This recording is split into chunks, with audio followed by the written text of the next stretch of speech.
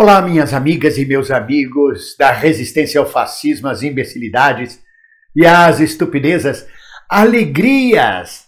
Alegrias porque o showman que preside este país, afinal, tornou-se libertário. Afirmou: toma quem quer. Acompanhe. Minhas amigas, meus amigos, o malévolo showman que dá espetáculos diários no Brasil, ocupando a presidência, resolveu tomar uma atitude que é uma faca de dois gumes.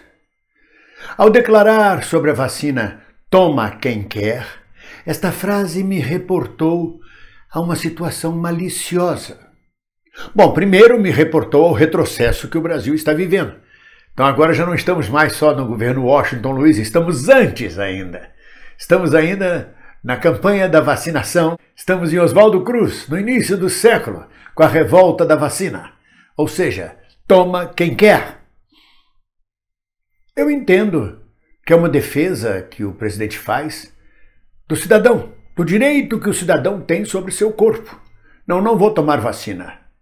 Entretanto, se ele permite este direito do cidadão sobre seu corpo, se ele defende este direito do cidadão sobre seu corpo, Provavelmente, então, está estendendo isso também ao uso do corpo na sexualidade.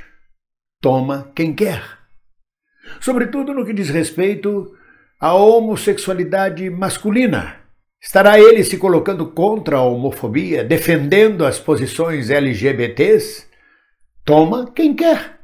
Ora, se a pessoa tem direito, poder sobre seu corpo, isso deve ser estendido também ao aborto, ao uso da sexualidade no corpo, ao uso geral que se faz do corpo. Até mesmo o direito de tomar banho ou não, ou passar um ano sem tomar banho. Quem quiser que reclame. Toma banho quem quer. É sobre meu corpo, sobre o nosso corpo, que ele está pregando. Não é possível que ele tenha preconceitos. Um, um, um presidente que diz toma quem quer diz claramente que cada um de nós é dono do seu corpo. Logo, cada um faz o que quer com o seu corpo. Ou não? Ou será que só vale para vacina? Deu bobeira, deu gancho para que eu possa fazer este vídeo irreverente, porque toma quem quer é uma frase estranhíssima.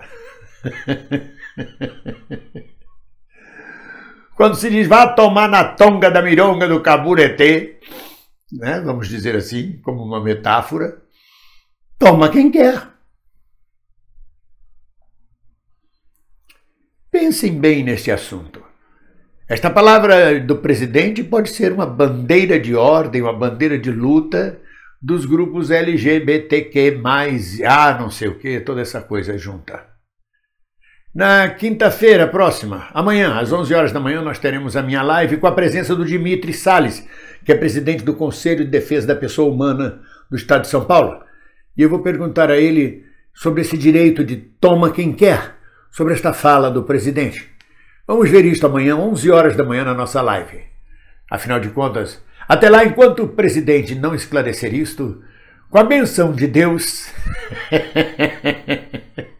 Com a liberação evangélica, toma quem quer, não é nem toma quem pode. Aliás, pensando bem, toma quem pode, mas na verdade, vamos seguir o presidente, toma quem quer, o desejo de cada um, que seja respeitado.